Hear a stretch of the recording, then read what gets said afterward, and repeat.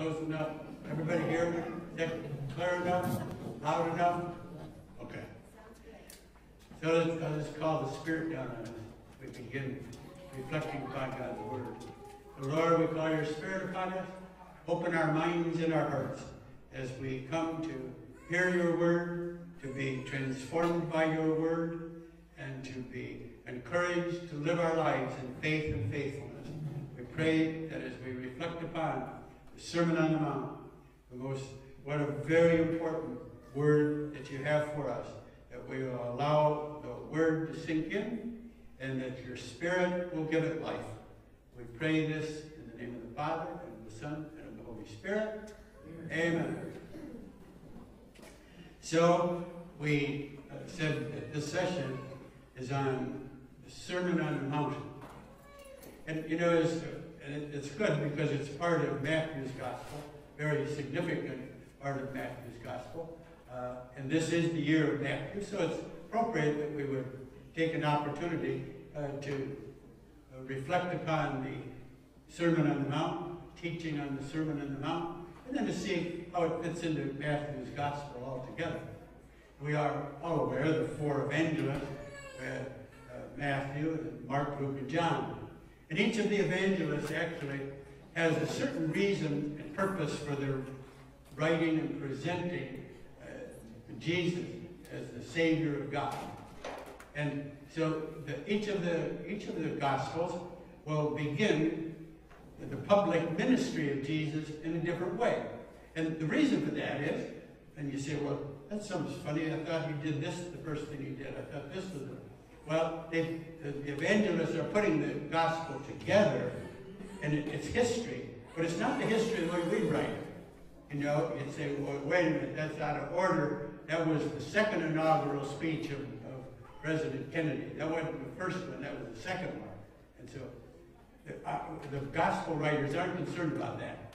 They're concerned, and like somebody said, they use the, the scripture, the whole word of God, and they use it and they put it together uh, like a like a putting together a symphony, you know. And they pick and they choose. Sometimes they use a little jazz. So they don't. They're not so worried about all the literal things, so that everything is literally the way it is stated.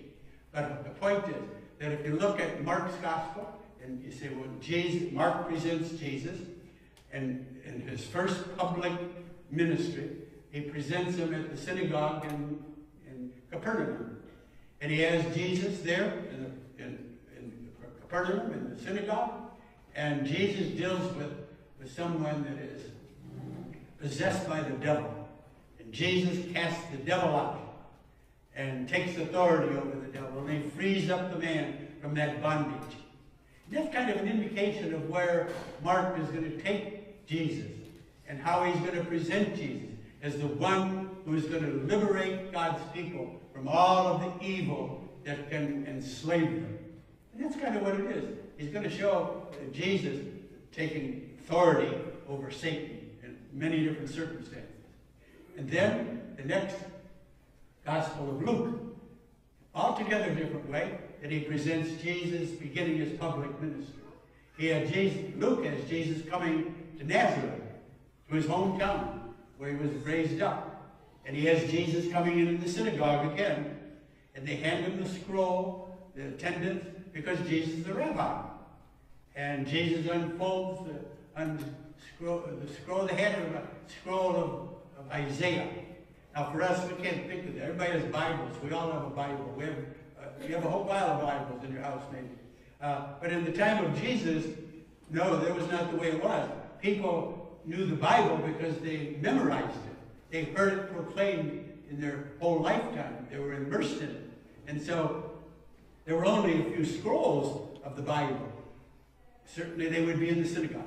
So he unscroll, unrolls it, Isaiah scroll, and he gets to where he wants to proclaim.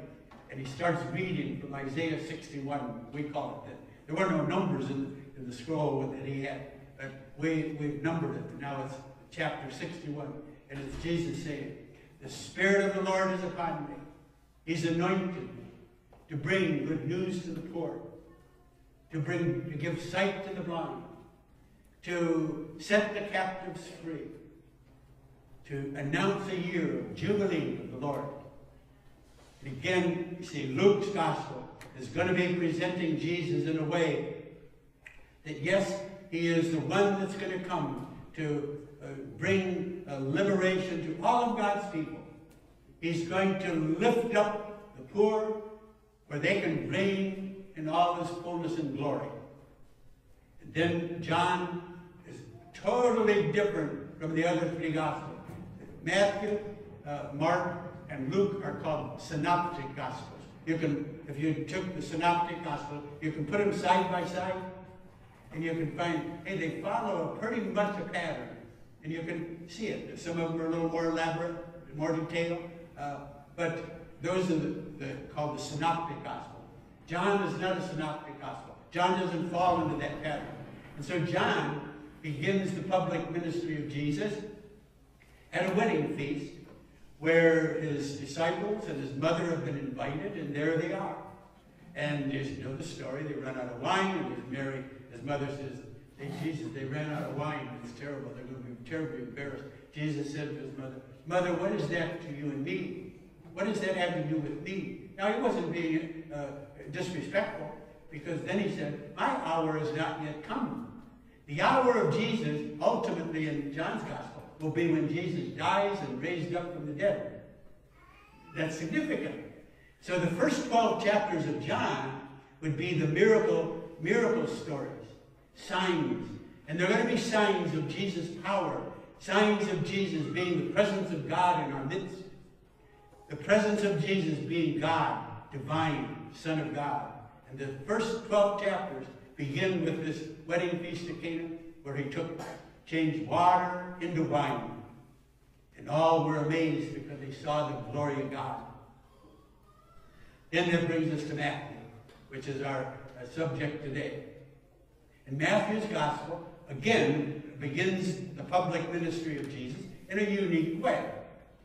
And the unique way that Matthew begins to present Jesus in his public ministry is with what we call the Sermon on the Mount. The Sermon on the Mount is one of five, there uh, discourse, they're called five discourses in Matthew's Gospel. And these discourses in Matthew's Gospel uh, are, are uh, spread throughout Matthew's Gospel. And they are significant because they, they present the, the, the, the whole ministry of Jesus throughout his Gospel through these various uh, called discourses. The first one is the Sermon on the Mount. That's chapter 5 through 7. We said that today at Mass. And then the second is called the Mission Discourse. That'll follow immediately upon uh, the Sermon on the Mount in terms of discourse. There's something in between there, but then chapter 13 is called the Parable Discourses, which Jesus tells the stories of the kingdom by way of parables and stories. And then the Community Discourse, which is chapter 18, and the community discourse about the church, how people, how brothers and sisters, how to relate to one another in the body, in the church. And then finally, it's the eschatological, it's called, a discourse, which talks about the end time, when Jesus will return again. Now, those discourses are scattered throughout the gospel. And what we're dealing with today is called the Sermon on the Mount. And what's a good thing to do when we look at the Sermon on the Mount is to look at the uh, where Jesus, uh, Matthew will give an indication. He'll give a summary of what Jesus is going to, what Jesus is doing. And the summary is this. It's in chapter 4 of 423. And he said, And he went around all of Galilee, teaching in their synagogues, proclaiming the gospel of the kingdom, and curing every disease and illness. So here he states and summarizes what Jesus is doing. This is what Jesus will do. He will go about village to village and town to town. And what will he do? First of all, he will preach. He will proclaim the good news. And then he will teach about the kingdom, uh, the kingdom of God. And he will cure illnesses. So he will teach, he will preach about the kingdom, and he will heal the sick. And that's significant and what Matthew wants us to know is this is going to be the, the tenor of the ministry of Jesus. This is what he's going to be about. And then he will, he will, in the end of chapter, uh, chapter 9, Jesus will sum, uh, Matthew sums it up again. Jesus, this is, this is in chapter uh, 9, verse 35. Jesus went around, around all the synagogues, villages, teaching in their synagogue, proclaiming the gospel of the kingdom, curing every disease and illness. So at the beginning of the Sermon on the Mount, at the end of chapter uh, 8, uh, chap chapter 9, he sums it all up again. And in between those two summaries, we have the Sermon on the Mount, which presents Jesus as the eloquent, magnificent teacher of God's truth. The Sermon on the Mount is a summary by Matthew of the significant teachings that sum up and present the whole spirit of Jesus' teaching. And it's followed by chapter 8 and 9, which are a series of some 10 miracles and healings of Jesus. So Matthew, you see, it's good to see that, that Matthew has reason the way he puts his gospel together. It's not just sitting down and writing and said, I think I'll write about this now. This was all planned out to present Jesus in a way that, is, that makes sense and is powerful. So he has Jesus presented first from, in the Sermon on the Mount as the great teacher, the teacher of God's truth. And chapters 8 and 9 he presents Jesus as this wonderful, compassionate healer of God's people. And that's important to get it. That's what it's about. Uh, and it's significant that we understand where the Sermon on the Mount fits and why it is presented the way it is. Matthew wanted to make sure that we understood that Jesus was the teacher of God's truth and he was the healer of God's compassion.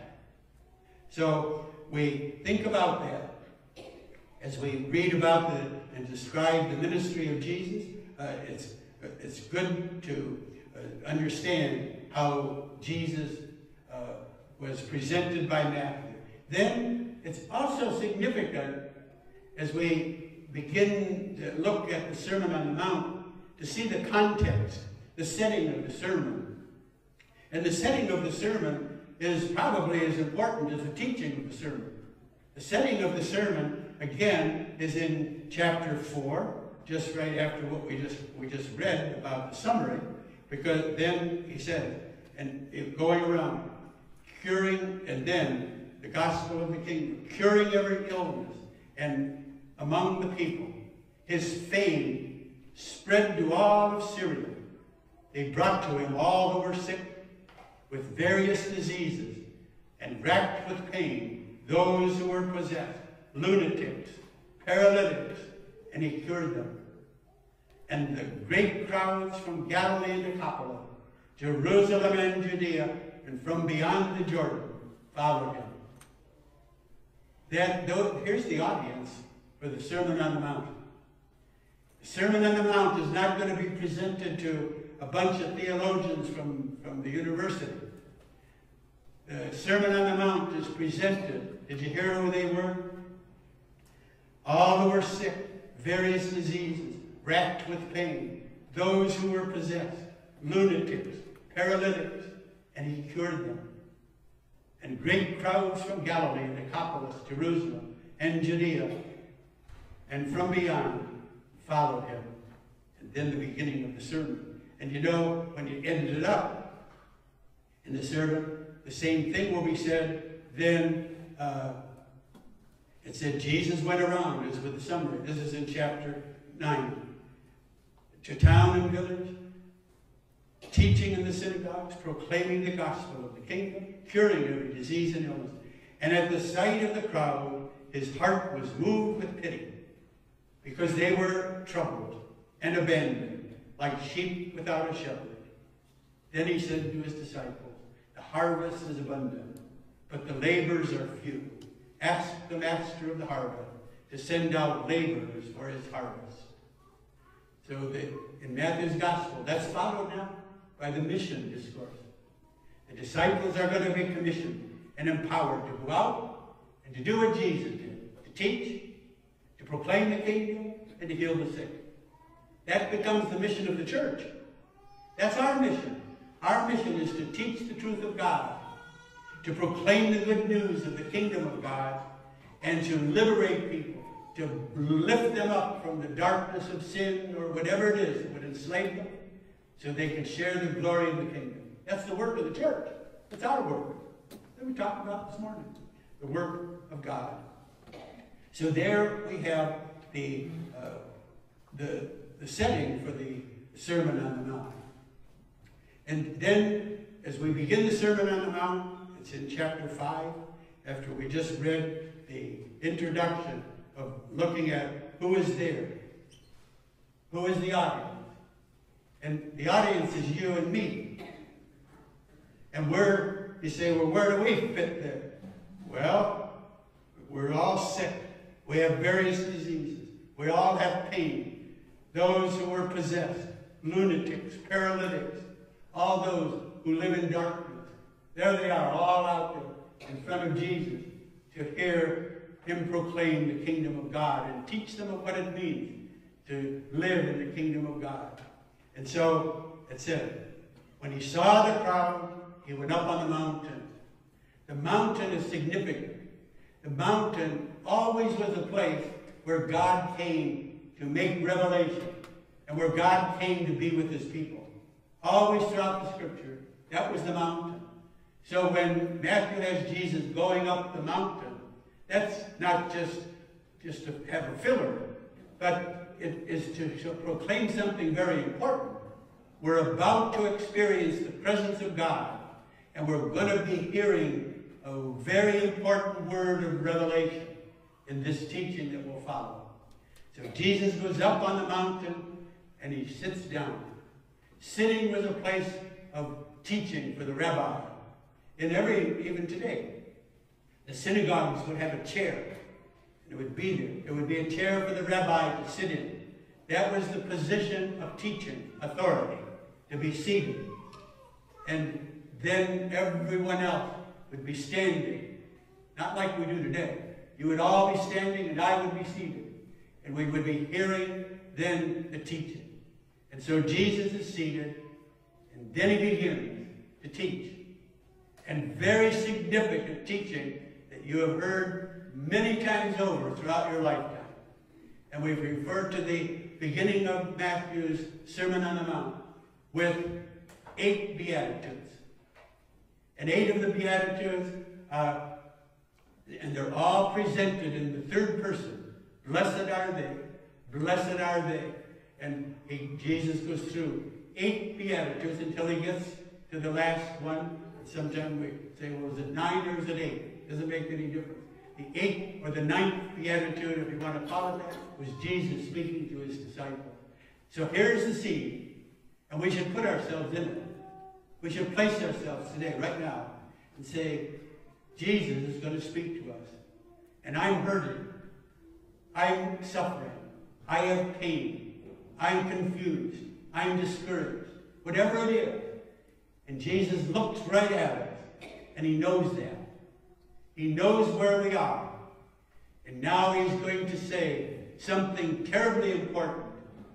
That because you are hurting, because you are poor, because you're in darkness, because you mourn and, are in pain, blessed are you. You are blessed. And you will always be blessed in the kingdom of God.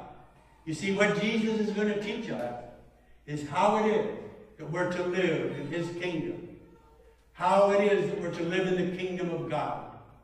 Not with guilt, not feeling we are unworthy because we are sinners, because we have no nothing to give as we assume it. But Jesus would say, we are blessed. And you know, when you hear that word, that we are blessed, you know, it's, it's the Lord really talking about himself as we, reflected this morning, even last week, that when you hear those beautiful uh, Sermon on the Mount in the beginning of it, and these uh, parables. They're Jesus. And on your table, there's a that brown sort of sheet uh, has parables maybe a possible interpretation of the parables. And when we say these, first of all, think of Jesus. Blessed the poor in spirit. Don't claim their own goodness, but turn to God in trust. But think about yourself. Those who mourn, grieve over the sin and injustice of the world. The meek have no other power than from God. Those who hunger and thirst for righteousness long for the salvation only God can provide. Blessed are the merciful. They are those who, when offended, give forgiveness. Blessed are the clean of heart. They are focused on God alone. Blessed are the peacemakers, those who work to bring God's healing and unity to the world. Those persecuted for the sake of righteousness. And there are those who suffer for being and acting as followers of Jesus. That's good, isn't it? Jesus is speaking to us. He's telling us that indeed that we are greatly blessed. It's a, it's a mystery in a certain way uh, that when you think about it, when Jesus says that, because it flies in the face of, of worldly wisdom. Worldly wisdom would tell us that, uh, tells us that this is crazy. Who would think, what's blessed about being poor? What's blessed about mourning and grieving and being persecuted? What's, what's so blessed about that? But Jesus said, oh no. Allow the Spirit to show you that in the kingdom of God you are indeed blessed. Sometimes it's called the, the prophetic reversal. That Jesus turns upside down the worldly values. Uh, and he shows that, that, that he brings hope to you, to me. And it's, it's a hope that's not just wishful thinking. It's not a, a hope that is a false hope. But he brings us God's hope. And every one, every one of us in here today could stand up and share a pain or a suffering that they're experiencing right now. Every one of us could. And Jesus listened to it. Listen to what he's saying. He's saying, Blessed are you. Blessed are you. I am with you. I am empowering you. And I am calling you to live in the kingdom of God. What a better place to live than under the reign of God. Can't think of anything better. Sometimes the world would say that's nutty, that's foolish. Blessed are the rich. Blessed are those who have everything in order. Blessed are those who have control over other people. Blessed are the powerful in worldly terms. Contrary, totally contrary to the way that we're called to live in the kingdom of God. So today, when we hear all of the ways that we hear the, the Beatitudes, the first four really uh, are those that are seems to be mourning and suffering and having a lot of trouble. The second, merciful and clean of heart and peacemakers, those who are persecuted. There's a relationship between those two sets, between the first four and the second four. The second four, Beatitudes, are people that have been blessed and gifted to serve, really. The people that are involved in the first four Beatitudes, who are in need, who are poor, who need to be lifted up and cheered up and all that they need. So the, it's not the way that the world works. The world is not particularly interested in people who are serving and working and committed to, to serve the poor. They, they kill people that in that place, right? You think of uh, El Salvador, Bishop Romero. Bishop Romero worked tirelessly for the poor in El Salvador. And he put his life on the line for the people of El Salvador, the poor, which were the majority. Uh, many of the countries in Central Latin America are like that. The, the, the rich are the top few, and that's bad enough, but then they oppress the bottom, rest of the people in the community and in their society. Bishop Romero fought against it, spoke out against it, worked against it, and finally one day on a Sunday morning, they came into church and killed him right in front of the whole congregation. They murdered him Bishop Romero. You see, the world doesn't stand with the poor. God always stood with the poor. The Word of God and the Scripture and the history of God's revelation, always. He was concerned, as the psalmist said, I am concerned and I love the brokenhearted. And so is Jesus. And so must we be. That is the call that we've been given to minister and to serve the poor. Uh, so that we can see that when Jesus came, all of those people, all of the poor and the or depressed and the sick and the, those that were lonely and those who were isolated uh, from God's people, those who the world would tend to throw on the heap, the pile, out in the garbage. That Jesus said they are blessed in the kingdom of God. That's a great gift. He's talking to you, and he's talking to me. And he wants us to take that word so that we can be built up, so we can live with the hope, and then we can be a people who are the bringers and the providers and the proclaimers of hope to a world that's deeply in need of seeing the hope. I was thinking about that when I read the story, and I've used different stories about uh, being that kind of people who, who bring hope to the world. And uh, I, was, I was reminded of a, a great, great person. He's not a, he's a saint, but he hasn't been canonized yet. Uh, it's Brother uh, Solanus Casey. Brother Solanus Casey was a Capuchin priest. He, had, he was from Wisconsin. He had, first of all, studied for the diocesan priesthood in Wisconsin. But he, he really, his academics were poor. And so he, was, he had to be released from the seminary. He was not allowed to continue on. And he kept knocking on doors all over the place.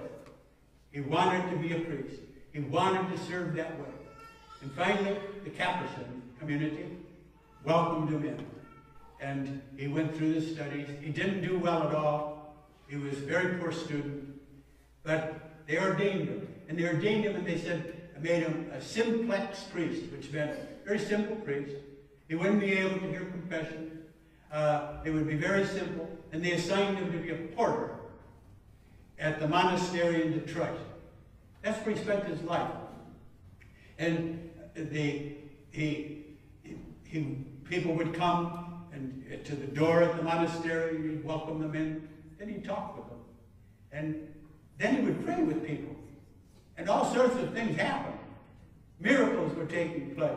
Uh, and so uh, the, the, community asked them to keep a log. Uh, uh, here are a couple of entries. This is simple, simple priest. And you talk about someone who is going to serve and lift up the poor. July 26th, this is his entry. Russell J., just 17 years old tomorrow, 49 inches tall, is enrolled in the Seraphic Mass Association. That's, that's a, a series of masses that people come to the monastery there. They want to have masses said. They're called Seraphic Masses. And the priests of the monastery will be offering these masses. So this young boy, 17 years old, little, yeah, I mean, little boy, 49 inches tall. That's kind of like in the midget category. Non-Catholic, he asks to make me grow. January 2nd, 1927. Uh, so that was like six months so later. Today, Russell J. reported he grew four and a half inches. First change in 12 years, now developing normally. Think, wow. And, and that's something. I said, here's this poor simplex priest that, you know, God led. God had his plan for that man, didn't he? You know, he got him kicked out of the seminary. He wasn't smart enough. But the Capuchins accepted him. And December 29, 1937, John Charles Kobaki, six-year-old, blind since three weeks old, was enrolled in the Seraphic Mass Association six weeks ago.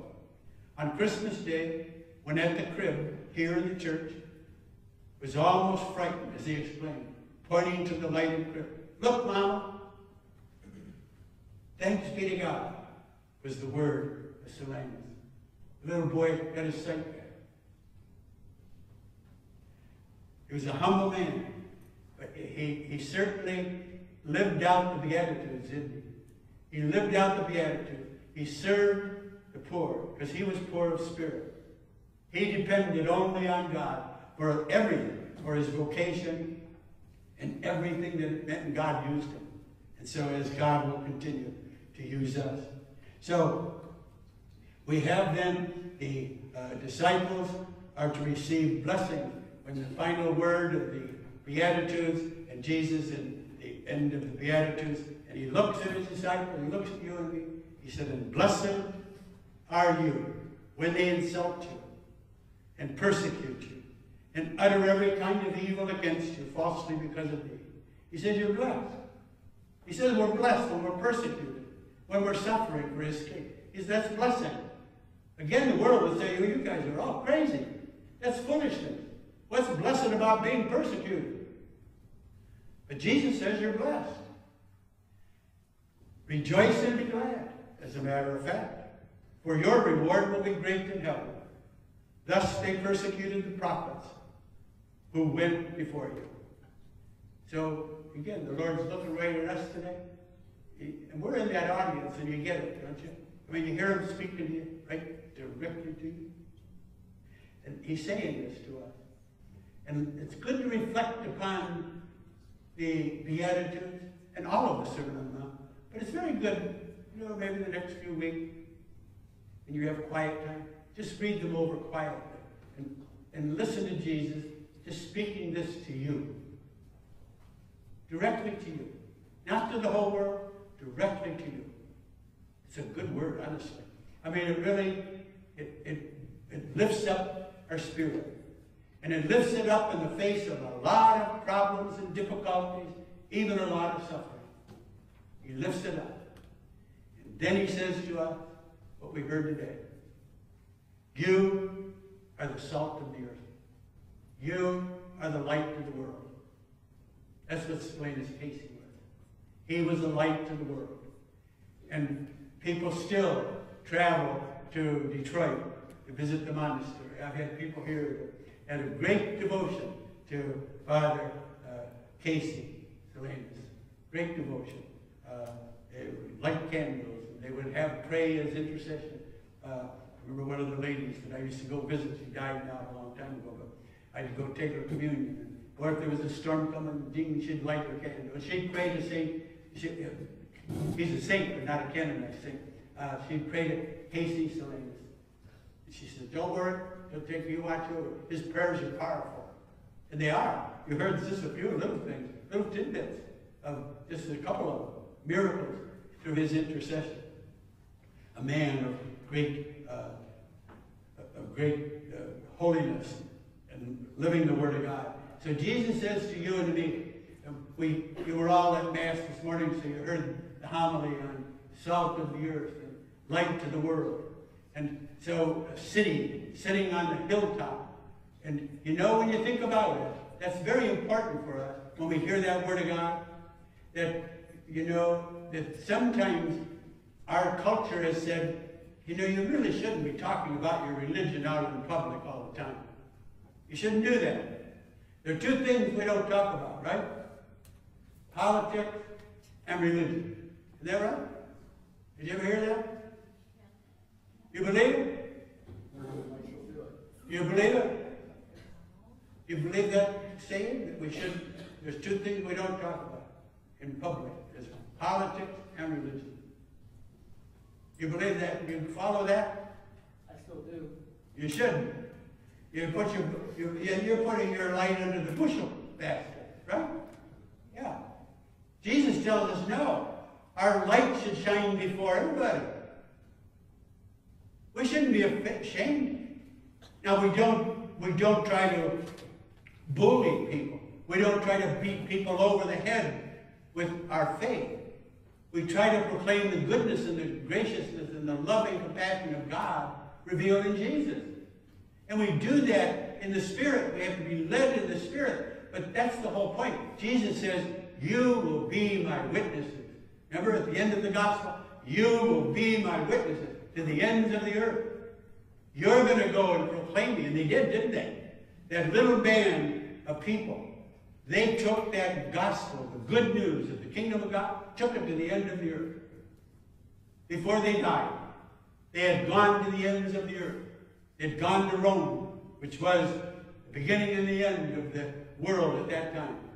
So we are to be that way. We're to be the light to the nation. It's spoken throughout the scriptures oftentimes uh, where the Word of God is spoken about. Uh, the, that was in Ephesians, where in Ephesians uh, 8, 5, 8, this is Paul speaking to the Ephesians. For you were once darkness, but now you are light in the Lord.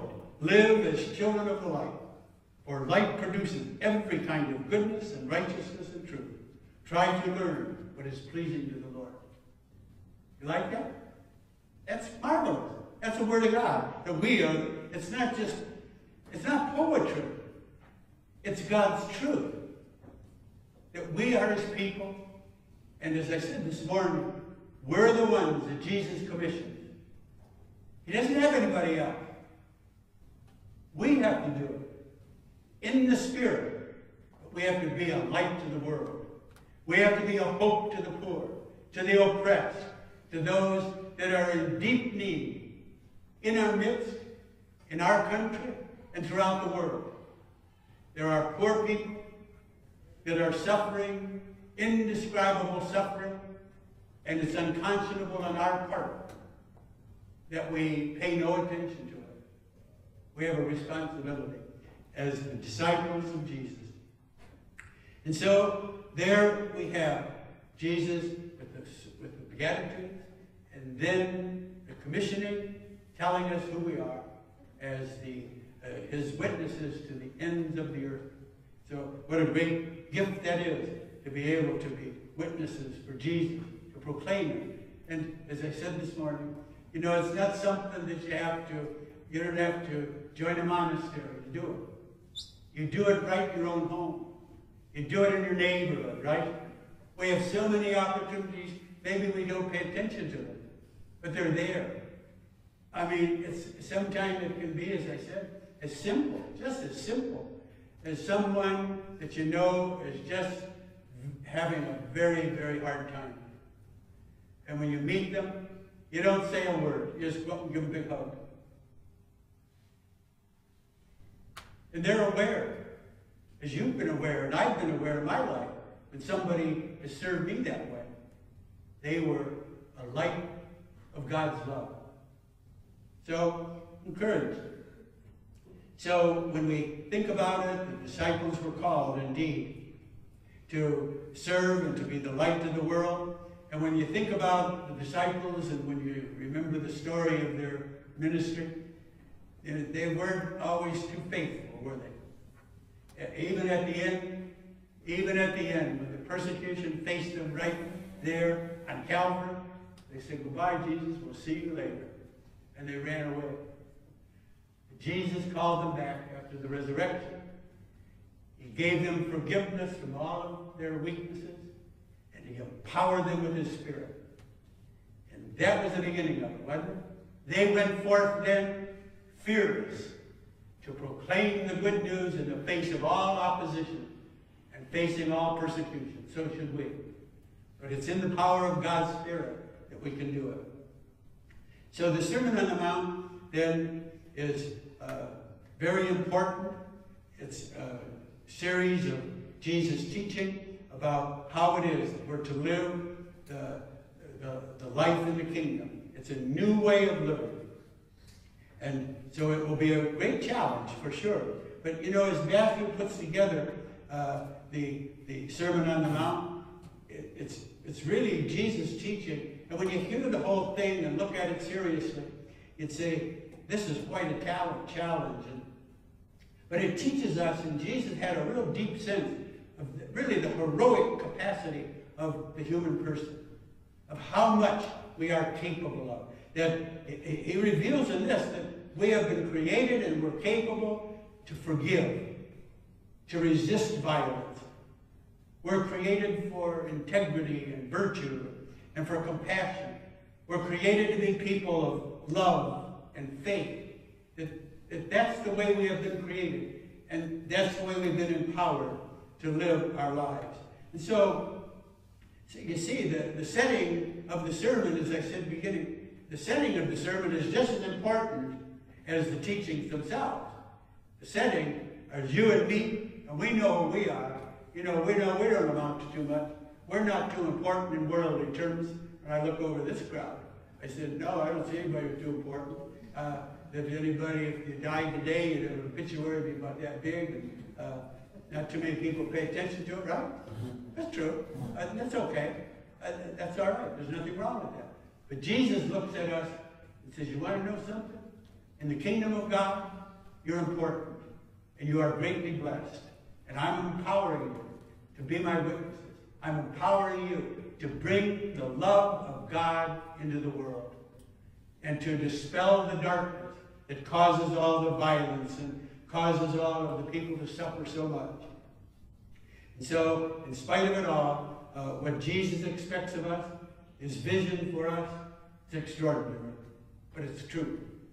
And so, the challenge of the gospel, what Jesus expects us to be. And so, someone studying scripture scholar said, uh, who, uh, what is this, who is this for and who is it meant for? And he says, for the four winds. He was saying that the Sermon on the Mount was not simply for Christians. The Sermon on the Mount really was for the four winds, everybody. Everybody, not just for Christian people, but for everybody in the whole world. And you know, a good example of that, who took it up, was Gandhi. This was Gandhi's favorite work of, of literature, as he would approach it. He loved the Sermon on the Mount.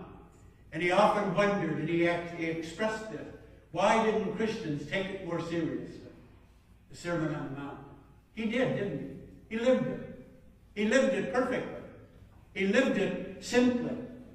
And he lived it to the point of death. He, but that was Gandhi. And so that's true. The Sermon on the Mount is not just for you and me. It's for everybody. All of God's people are called to live in this way. So we're built for compassion. We're built for nonviolence and for love and forgiveness. So here we are now, and we come to the content of the Sermon on the Mount. You see, as I said, it's a long, we may be here till 5 o'clock. you know, you have to get you home, get ready for Super Bowl. Uh, but at least we'll, we want to hit the highlights, don't we? I mean, you know, so that you get a whole picture of what it is, you know. Uh, and like, I don't want to talk to death. That was Mark Twain said that one time. He said, there's no worse death than to be talked to death. so I don't want to do that. Uh, but the Word of God shouldn't be, shouldn't be boring, Think. Uh, it should be a word that encourages us. So what we're doing, the content of the Sermon on the Mount will be, first of all, Jesus making a contrast between the old law and the law of the kingdom of God. And there will be a series of, of words and teachings on that. That'll be followed by a, a teachings on uh, living out the uh, Jewish piety and acts of piety, which are so important to the Christian. The acts of almsgiving and the act and prayer and fasting. We'll talk about that a little bit. And then some sayings of Jesus that are significant and important. But the setting of the, the, the content of the sermon, the, the important verse is in 517. And here's what Jesus says. Do not think that I have come to abolish the law or the prophets. I have come not to abolish, but to fulfill.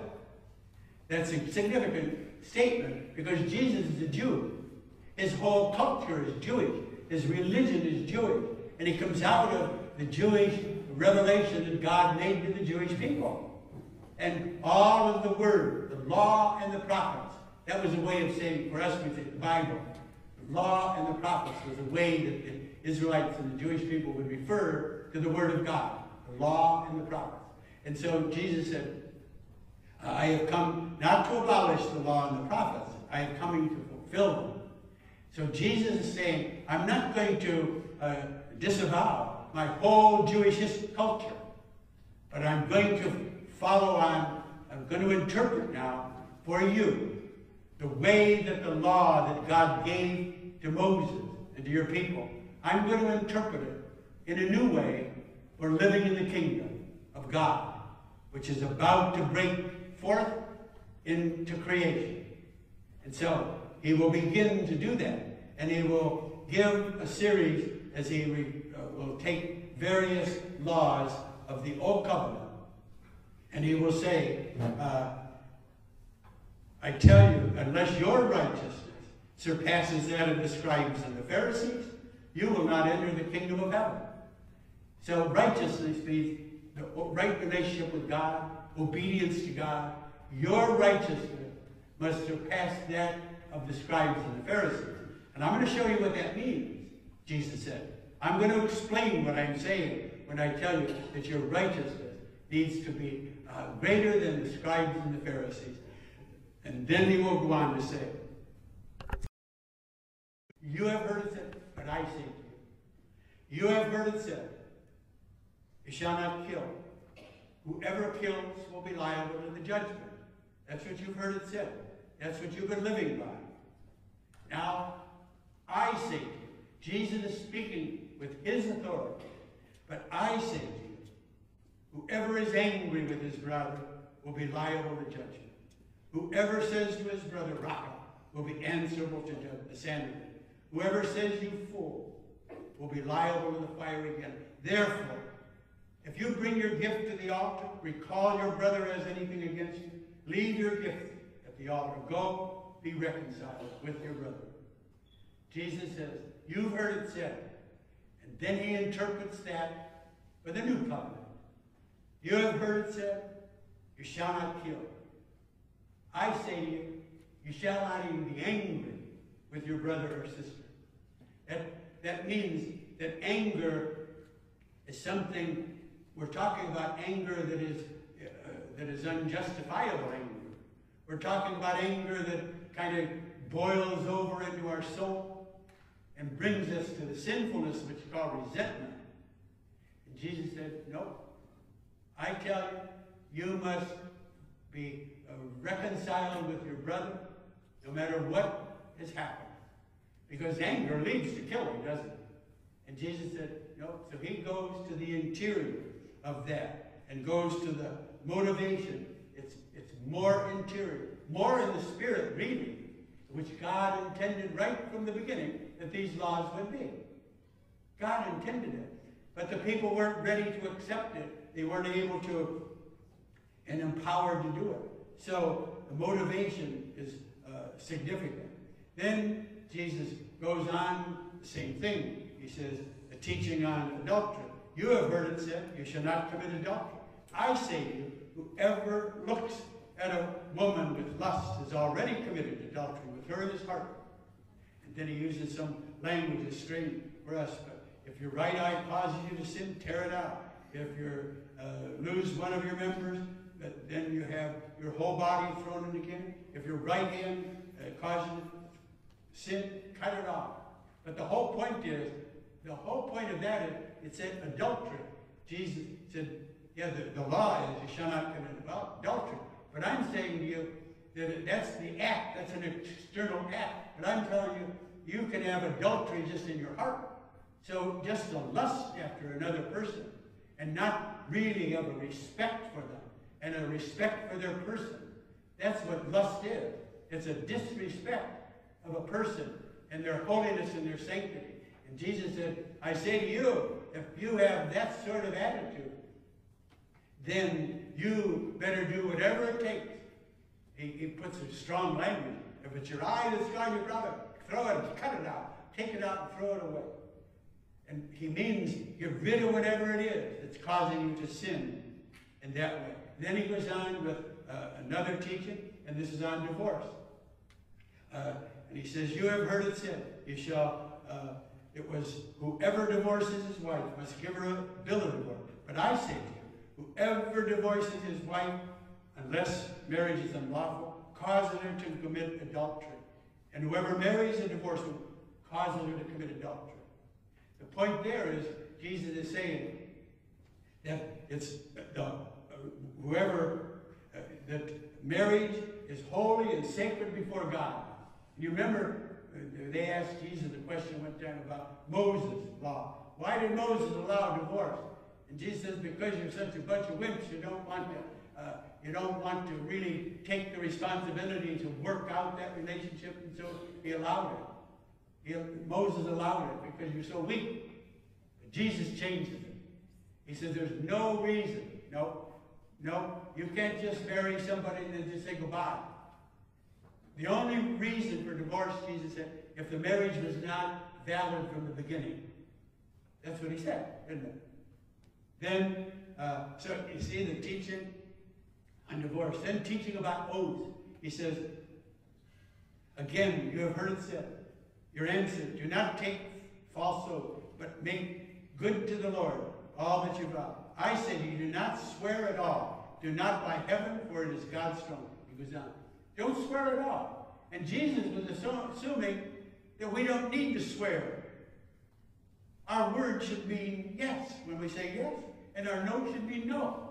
Jesus assumed that we'd be so just and honest that we didn't need to take an oath to prove that what we're saying is true.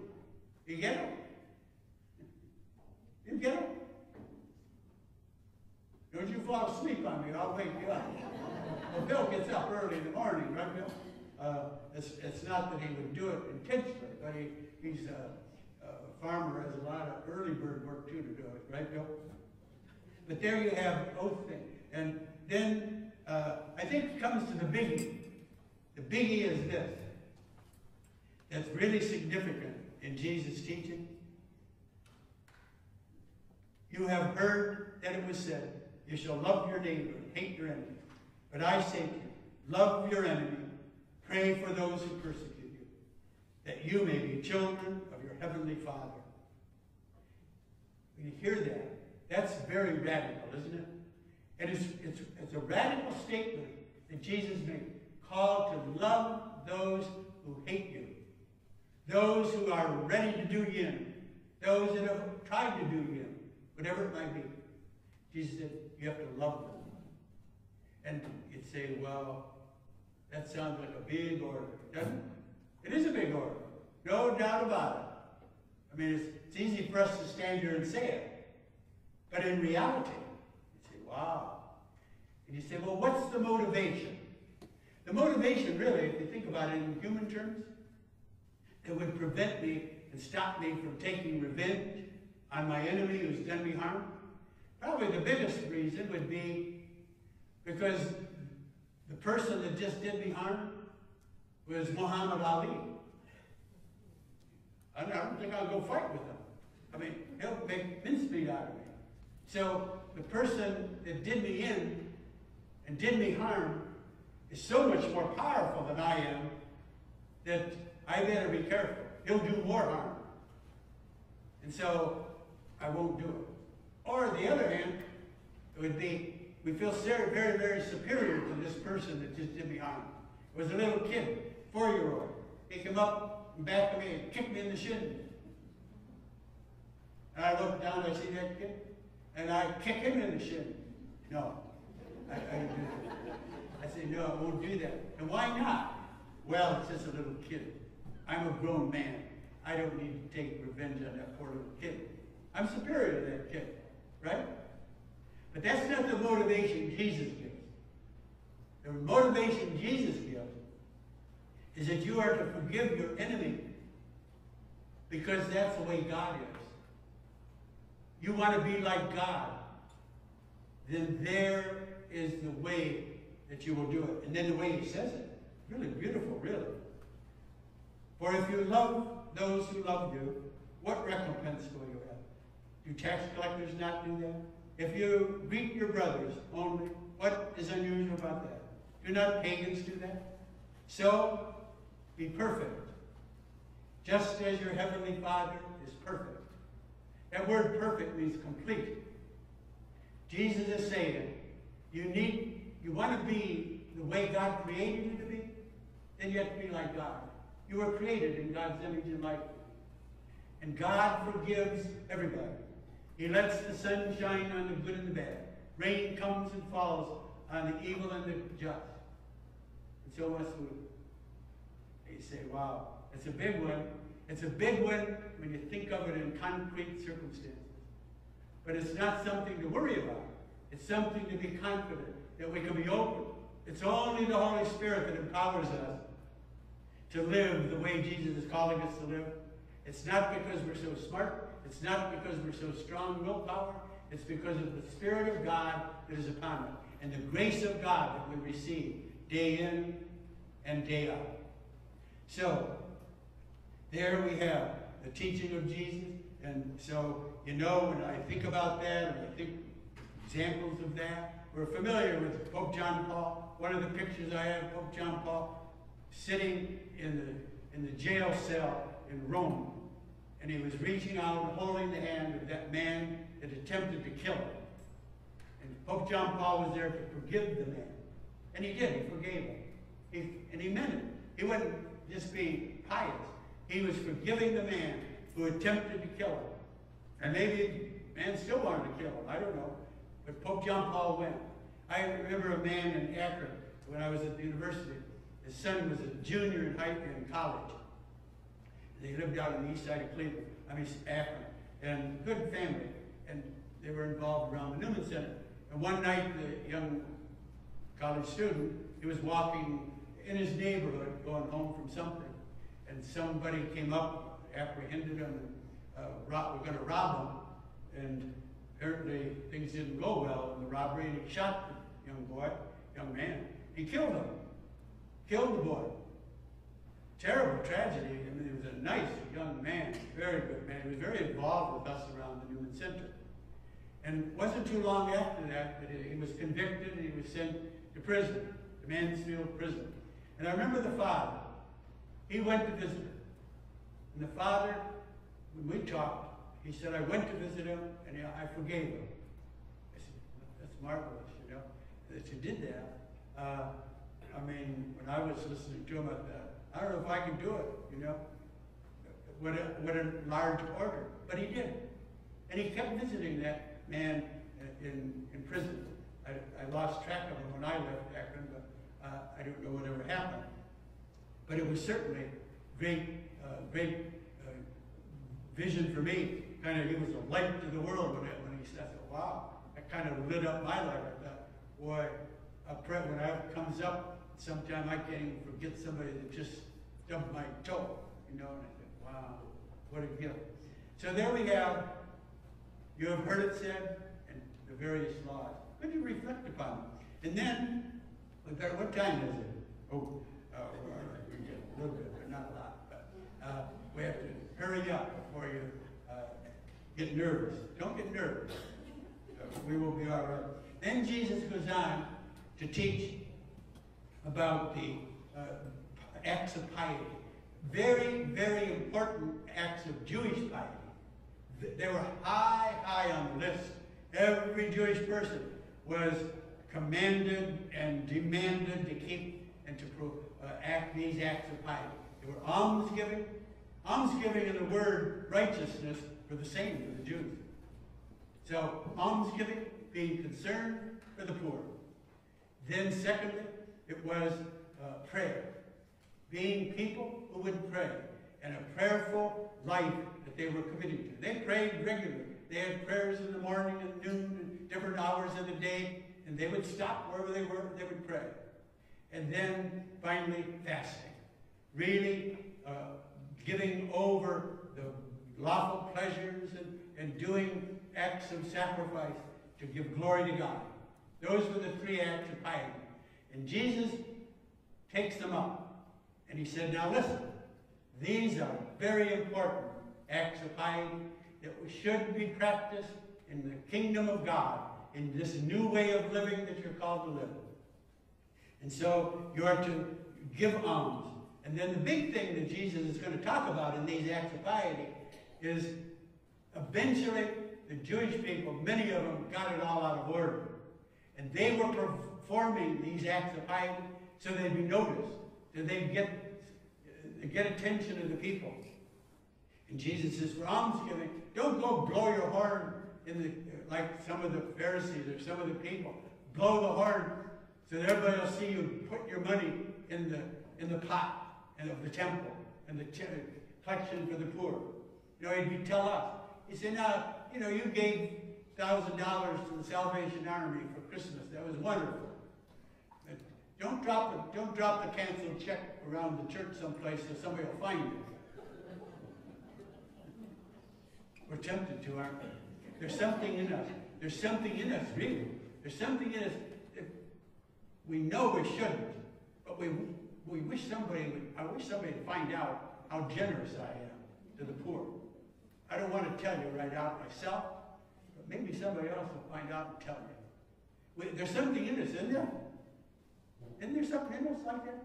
that and you say, yeah. You say, hey, Lord, come on, give me the grace so that I have pure intentions for your glory. When I serve the poor, I am giving you glory, not me glory. When you pray, it, don't, don't make sure, like some of the people in Jesus' time, they made sure that they were out on the street someplace at the hour of prayer so they could stop and pray. Very pious, and they would look very pious. And everybody said, oh, isn't that nice? Look at that person. They're so holy. They're just wonderful. And then Jesus says, you know, when you pray, then he gives them uh, a, a way to pray, doesn't he? He uh, tells them, when you pray, then he gives them the Lord's Prayer. And that's marvelous. We're not going to teach it. You could have a whole teaching here tonight on the Lord's Prayer. I, have you done that before? I can't remember. Yeah, I think you have in the light program. But you, you, that's one whole session. And even then, you, it takes a long time to get through it all. Uh, so when we pray, Jesus says, don't do it for show. Now that doesn't mean that we don't witness by praying. We come to church on Sunday we gather together to praise God and we do it. We come not so that everybody will see us in church. We come because we want to give glory to God. We want to worship, right? We don't come so that everybody will say, oh, I saw that Greg in church. Yep, I saw him. Uh, and he's, he's something. He comes every Sunday, and I want everybody to know that. And then I find out that's what Greg came for. He wanted everybody to see him. I said, wow. But it, I know that's not true. I know Greg, but he wouldn't do that. Just like I used an example of the person dropping the check. Uh, I used an example of one of our staff members the other night on Thursday. I said, call out her name. I said, she dropped the check. I said, oh, Salvation Army. Was her check canceled check for Christmas time? You know, I said, no, she wouldn't do that. None of us here would do that. We have pure hearts that we want to give alms and serve the poor. We want to spend time in prayer before the Lord, and we want to fast. We want to deny ourselves. We want to do what it is that's going to open ourselves to give us a hunger for God so that He will be glorified, not that we will be glorified. So that is the teaching on it's so important that Jesus gives on, on the acts of piety. But again, you have to reflect upon it and look into your own heart and say, hey, how's it going? What are we doing there? So then uh, Jesus will go from that to a series of teachings, uh, various teachings. There's no, not following any particular rhyme or reason, but he will teach, first of all, about uh, where your treasure is. Do not store up for yourself treasure on earth, where moth and de decay destroy, and thieves break in and steal. But your treasure should be in heaven, where moth nor decay can destroy, nor thieves break in and steal. For where your treasure is, there your heart will be. That's a good word. Just think about that. Where your treasure? What's the desire of your heart? What do you desire most? Good question, isn't it? Only you can answer. But wherever that is, that's what you'll see.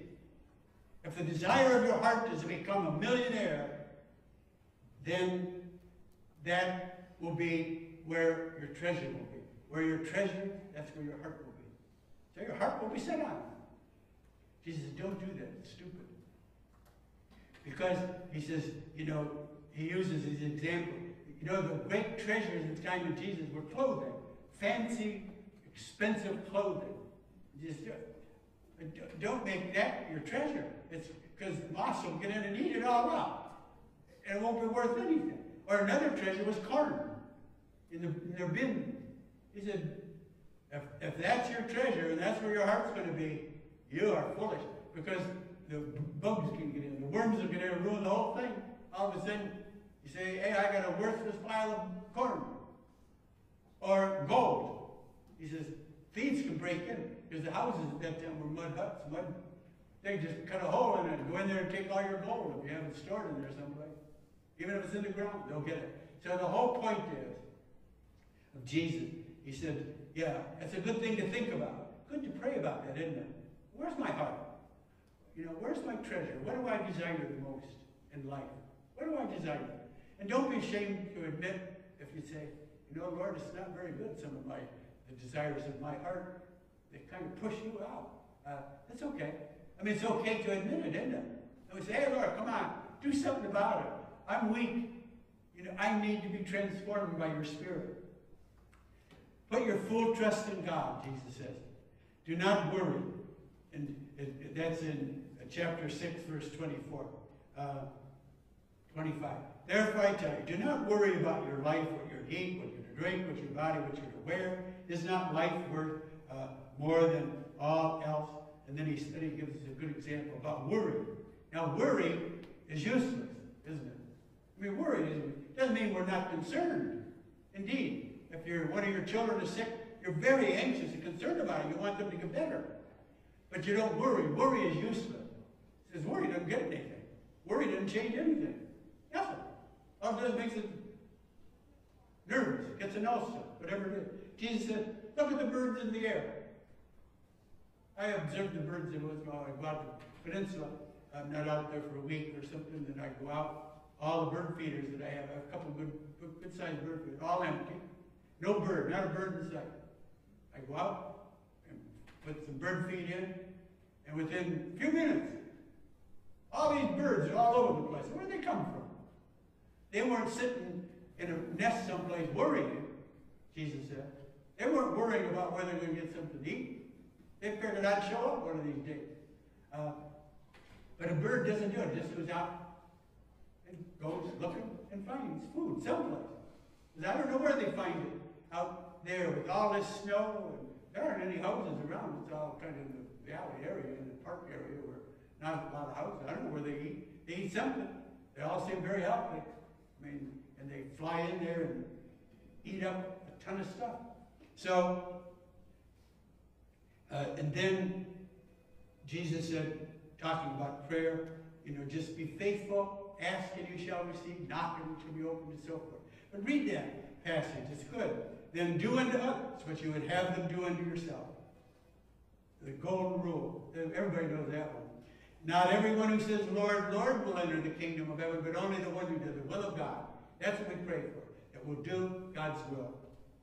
So, there, you know, you have the, the Sermon on the Mount.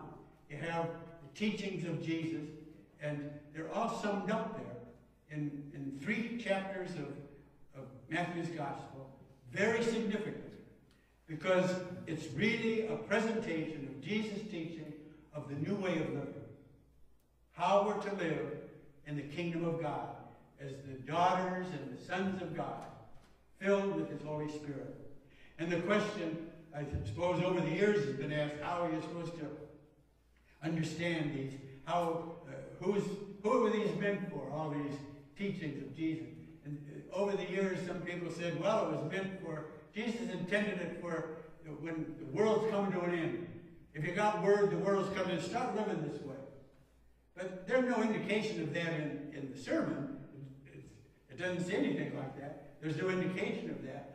But that's what some people thought. And I suppose you'd say, well, that sounds pretty good because if I knew the world was going to come to an end tomorrow, and I was positive certain of it, I'd say, yeah, I think I'm going to start living a better life. I'm going to start doing this. I'm going to start really being concerned about the poor and all that I should be doing. Uh, but if it's going to last for a couple weeks, I'll wait for a while to do that.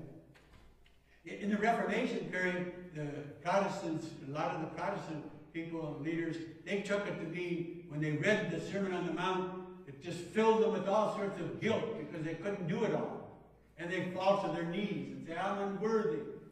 But again, that, there's no sense of, that Jesus is trying to lay guilt on us. He's giving us a way of living. And if he's giving it, he must going to empower us to do it, right? He'd have to. Uh, Or some people said, well, it's for monks or religious. They're the ones that can do it. But people living out in the world, you, you people, you couldn't do that. There's no way you could be this way, that you could be this honest, that you could be this loving and this compassionate and all the things that Jesus called you to. But the real reality is, no, these words are intended teachings for all of us. And with the awareness that Jesus is going to give us the grace and the empowerment to live this way.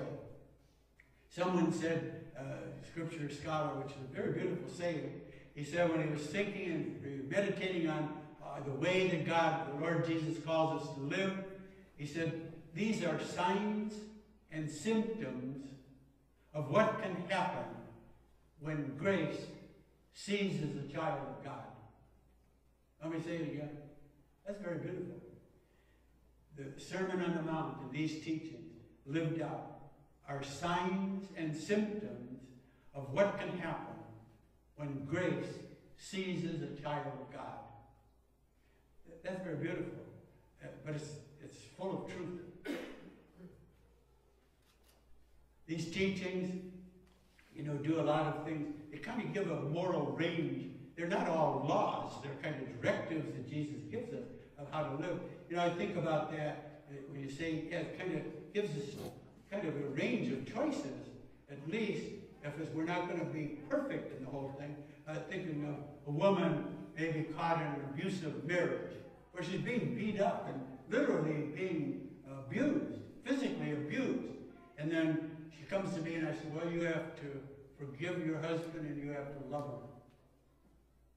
That would be cruel, wouldn't it? I mean, that would be kind of cruel. That's all I said. Maybe it'd be better if I said, you know, rather than, why don't we try to break this, this whole series that goes on of violence, rather than going home and getting a ball bat and beating him up at night and killing him when he's sleeping. Maybe your best bet is leave home. Go, go find some safe shelter. And then deal with all of the other thing of, of forgiveness and so forth later. But first, probably important that you find some, some comfort and some place where you can go to be safe. Seems to me that would be the best part of prudence in that particular situation. But it would, at least that, at least it breaks the, the, the series of violence that goes on in our, in our culture and a lot of culture. When you think about it, that some people just keep it up generation after generation. Look at the Arabs and the Jews. They've been fighting forever. Muslims and the Christians fighting forever.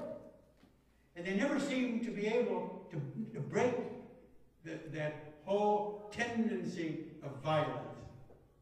So, there, I would say, if you think about all of the Sermon on the Mount, how would I, would I sum it up to say, you know, it's, it's not all law, but I think better to, to look at is as gospel.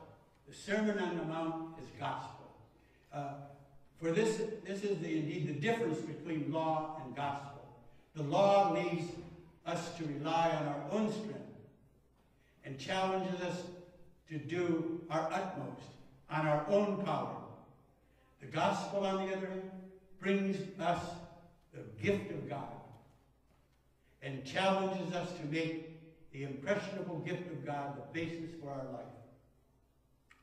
So the sayings of Jesus say, you are forgiven. You are a child of God. You belong to his kingdom. The Sun of Righteousness has risen over you. You no longer belong to yourself. Rather, you belong to the city of God, the light of which shines in the darkness. Now you may also experience it out of thankfulness of a redeemed child of God. A new life is growing within us. And I think that is the meaning of the Sermon on the Mount. If you say, how are we going to do it? How are we expected to live it? I think here is the way that we're empowered to live it. It was, I was thinking about it this past week as I've been planning, uh, preparing this teaching, and this thing came to me that I had long, long time ago, 40 years ago, I had used it in a retreat. It's a poem, beautiful poem. And here's the way it goes.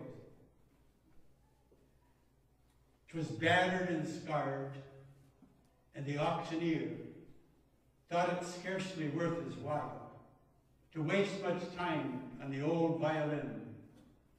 But he held it up with a smile. What am I bidding, good folks, he cried. Who'll start the bidding for me? A dollar? A dollar, then two? Only two? Two dollars? Who'll make it three? Three dollars once, three dollars twice. Going for three, but no. From the room, far back, a gray-haired man came forward and picked up the bow. Then wiping the dust from the old violin and tightening up the loose string, he played a melody pure and sweet as caroling angel sings.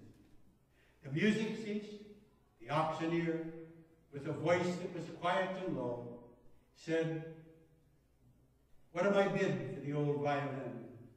And he held it up with a bow. A thousand dollars? We'll make it two. Two thousand? We'll make it three.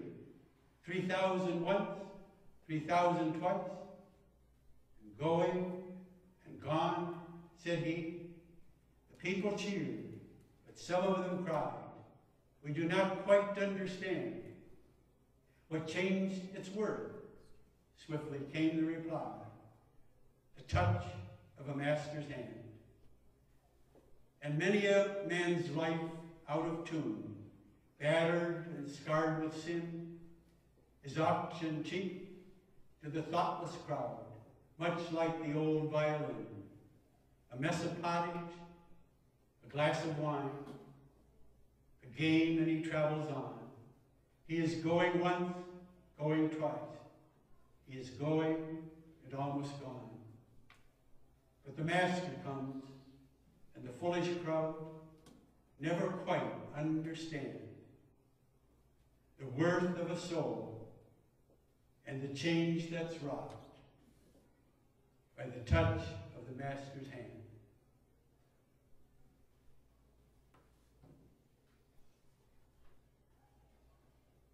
So we have been touched by the Master.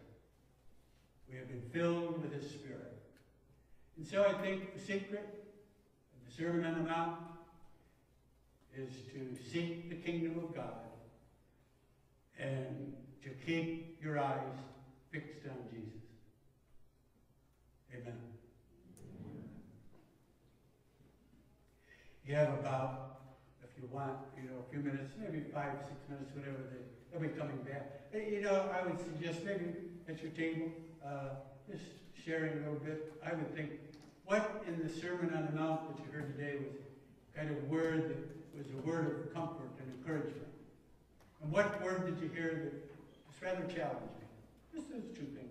If you want to, you know, you, sometimes people, some like to discuss, some people don't. That's up to you, you know, whatever you want. You have, uh, oh, several minutes to do it.